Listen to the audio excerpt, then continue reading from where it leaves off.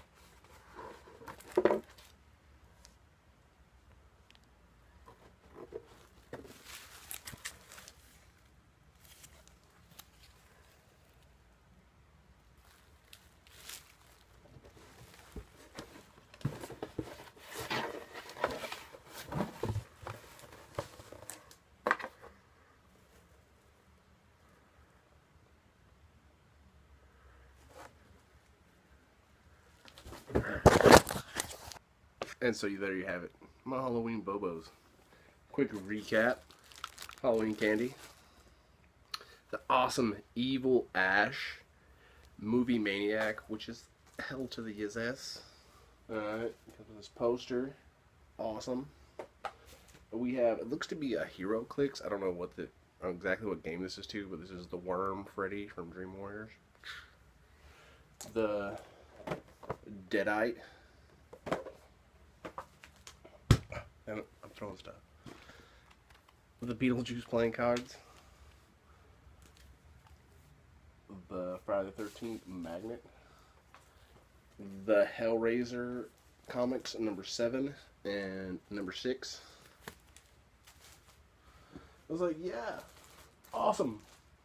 As always, There's my big old box of stuff. Hell to the yes. And take it easy. Enemy life. You perverts.